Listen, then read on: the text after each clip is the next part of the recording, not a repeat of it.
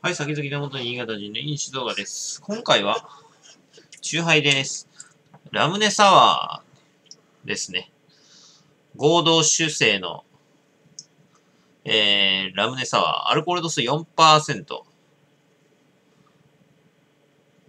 うわ、これ、あ、うわ、甘味料入ってんじゃん。しくった。えーっと、原材料名がウォッカとスピリッツと、えー酸味料と香料と甘味料と、過去アッセスルファム系とスクラロースと炭酸ガス、えープリン体糖質ゼロ、えー製造者がオエノングループ、えーの合同酒精株式会社ですね。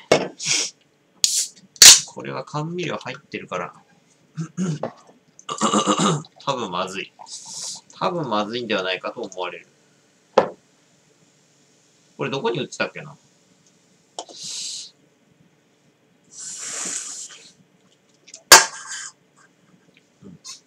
ラムネだ。カンピー。う、うん。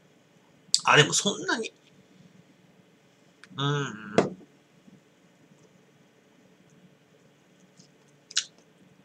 ああ。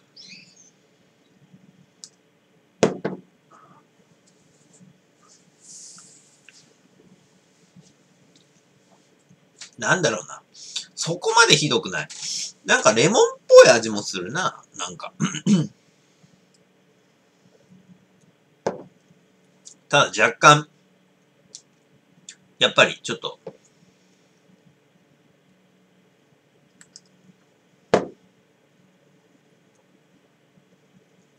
甘味料っぽい、あの、後味がね。えー、合同酒精。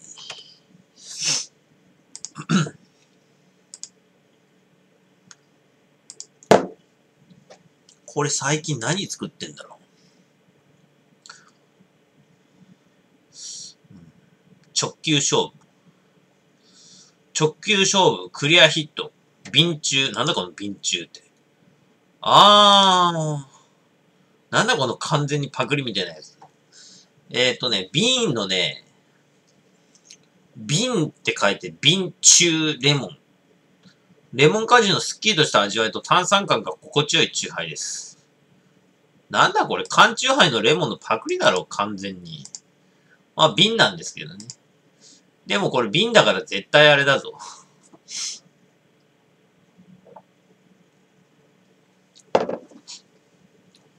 あの、絶対、売れない。瓶だとさ、あのー結局重いんだよ。うん。あ、確かに居酒屋とかで出すにはいいんだけど、それ自体が、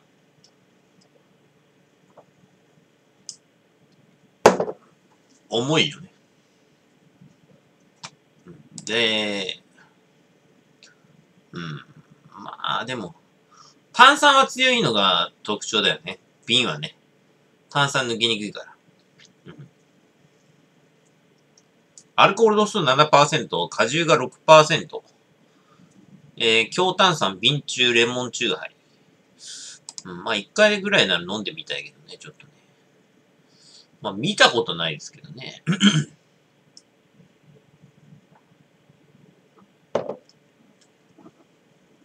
どこに売ってるんでしょうか？え自分でグラスにスタ、えー注ぐスタイルは SNS 映えも、間違いなし。なんで？えー、瓶中レモンと瓶中ドライと瓶中ハイボールの3種類。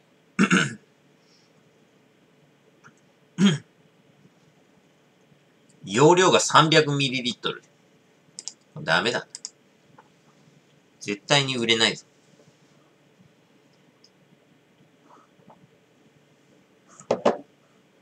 しかも SNS 映えとか意味不明なこと言うとるけど、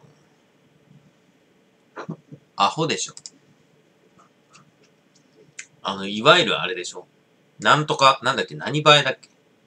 インスタ映えでしょ。バカじゃん。自分で瓶、瓶からこう注ぐスタイル。まあ、居酒屋だったらいいんだけど、いいんだろうね。あの、まあでもよくねえのか。難しいよね。こういうの居酒屋でそのまま出すっていうのが。難しいよね。あの、居酒屋で、あの、下町の居酒屋だとあの、瓶の炭酸水をそのまま出すところは結構あるんですよ。あれは。うん。まあ、いわゆる瓶の、あれですね。ビールの瓶、瓶ビールを出すのと同じ感覚で、あの、出すんですよ。うん。そういえば俺、それの、それも飲みたいんだよな。今思い出したけど、下町酒場の、え、瓶、瓶の、下町炭酸水。瓶のね、下町のね、炭酸水っていうのがあって、業務用炭酸水なんですよね。いわゆる瓶は使い回しで、あの、本当にあの、ビール瓶と同じで、あの、瓶を使い回すんです。で、容量が 200cc。で、で、こう、焼酎だけがこれぐらいだ出されて、で、こう瓶に、やってくるの。その、多分、俺、まだ行ったことないんだよな。東京のね、下町、今度行ってくるかな多分、亀有とかにあるんですよね。亀有とかは近いんで、行ってこようかなと思うんですけど。うん。で、結局のところ、下町の炭酸水って、何が普通の炭酸水と違うかっていうと、あの、水道水を使ってるらしいんですよね。ただ、水道水をろ過してる、あの、自宅でろ過してるらしいですね。ああ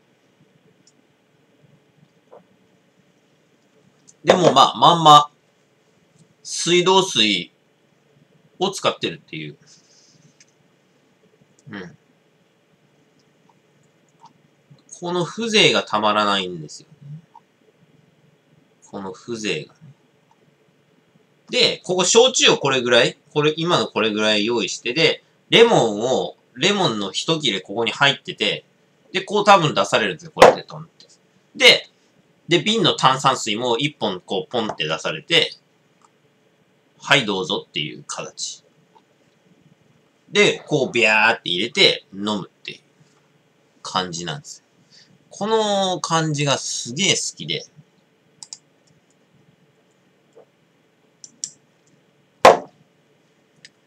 で、以前、あの、10年ぐらい前にタモリクラブで紹介されたんですよね。うん。で、それが、あの、腰つべにも上がってて、俺それ、あの、よく何回か見たんですよね。すっごい面白くて。うん。結局その 会社によって炭酸の決めが細かかったり、あの、炭酸が荒かったりして、パンチが違ったりするんですよ。あの、炭酸が弱かったり強かったり、泡がこう、ブワーっと来たりとか。うん。えー、っと、製法が、えー、水道水を洗浄、洗、潜水器、違う、浄水器。浄水器でろ、ろ過して不純物を取り除くと。で、その後に、えー、炭酸、水と炭酸ガスを混ぜる。で、瓶詰めする。書いてありますね。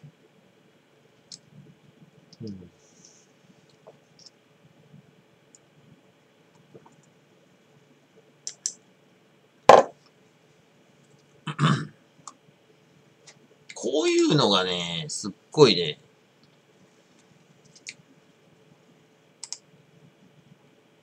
飲んでみたい。ものすごく。で、1本あたり、まあ普通にあの楽天市場とかで買うと、80円ぐらいで買えるんだけど、まあ、瓶が確か10円か5円ぐらいで多分返却できるんじゃないかな。う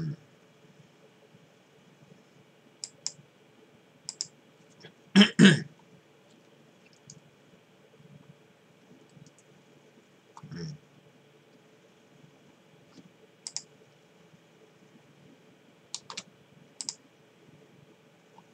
で、似たようなもんだと、あの、ウィルキンソンから出てる朝日の有名なブランドのウィルキンソンから出てる炭酸水も、あの、瓶のやつがあるんですよ。容量が 190ml。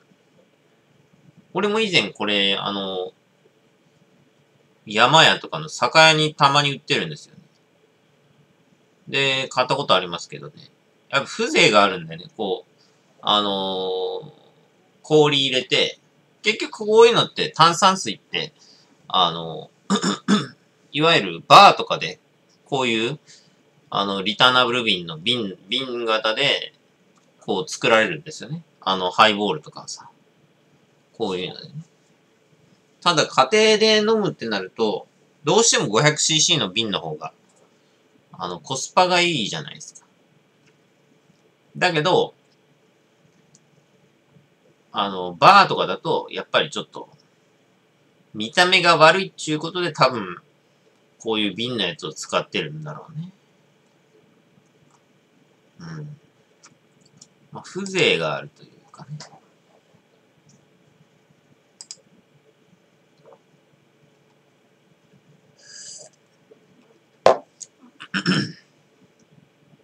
うん。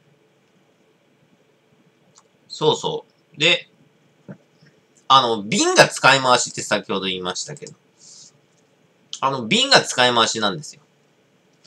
じゃあ何で中身を知るかっていうと、あの、王冠ですね。あの、蓋です。瓶の蓋。あそこを見ると、あの、原材料名とか容量とか、どこが製造したかっていうのが書いてある。で、だから、あの、瓶はいわゆる、瓶に、あの、会社名とか書いてあっても、あの、それを信用してはならないんですよ。うん。だから、あの、好きな人はこの王冠だけを持って帰るっていう。王冠くださいっつって、この王冠くださいっつって、あの、本来はその、バーだと、こう、居酒屋とかだと、こう、開けてからもう、開封された状態でこう出されるんですよね。うん。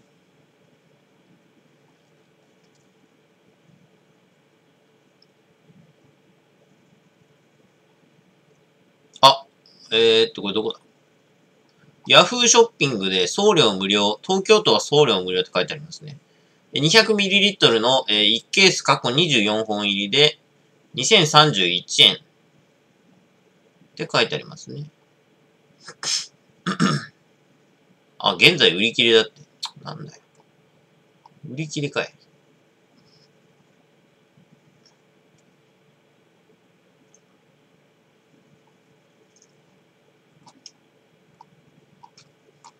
でも1ケース24本入りで2000円だったら、まあ安いっちゃ安いかもな。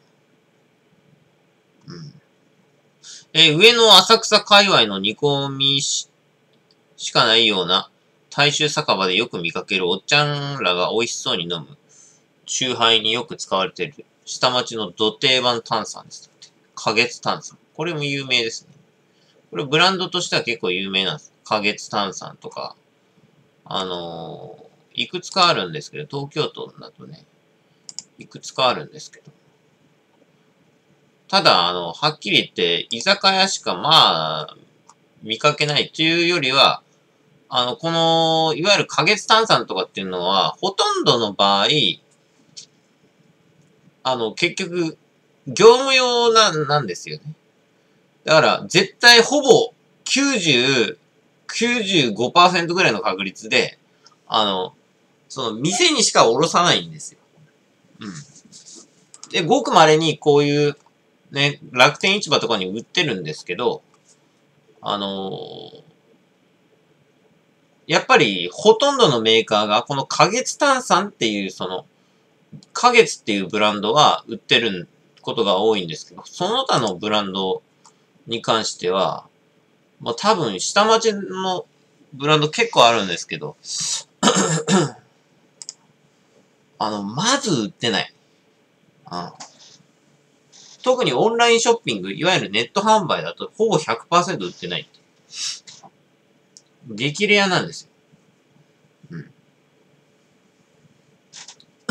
で、だからもう、前も、あのーね、いろいろほら、業務用商品があるっていう話したじゃないですか。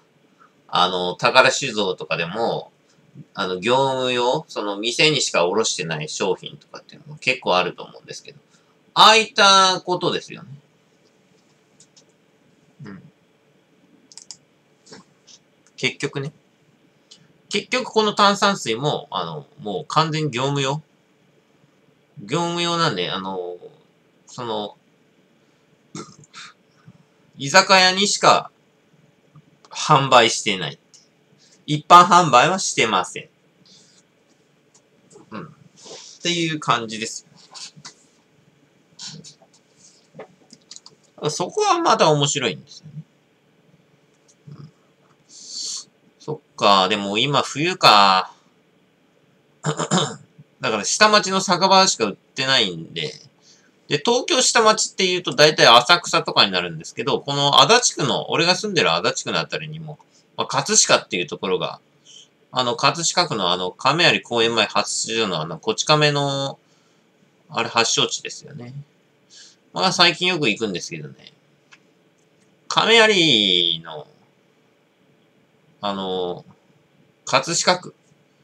葛飾区なんですけど、葛飾区にも結構その下町があるらしい。その下町酒場があるらしい。まあ、結局そういう、どこが下町なのかってよくわかってないんですよ、僕も。どこからどこまでが下町っていう結局くくりがないからね。東京の下町っていうのがどこなのかっていうと、わかんないです。ざっくりでしかわかんないです。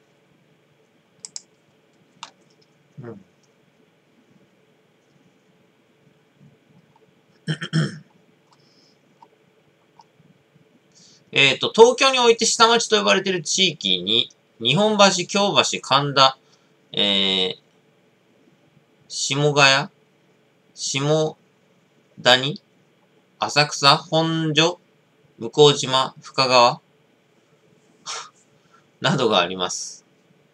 さらに秋葉原かし、秋葉原から、秋葉原から新橋、芝まで、えー、外堀、外堀通りから隅田川まで、中央区、えー、港区、千代田区、台東区、墨田区、江東区と広がっています。えー、葛飾区、柴又、えー、大田区、えー、品川区周辺も下町と呼ばれています。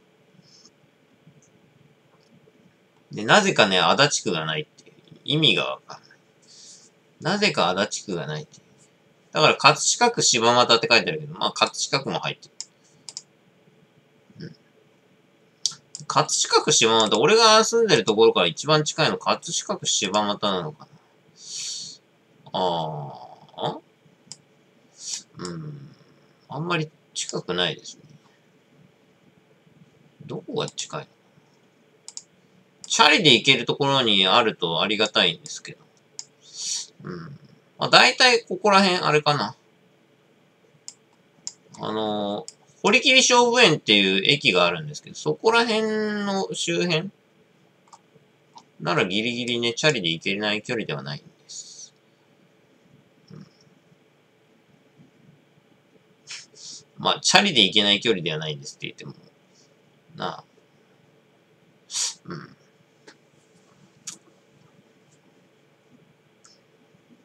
まあ、電車で行けよって話なんだけど、電車賃もったいないじゃんだって。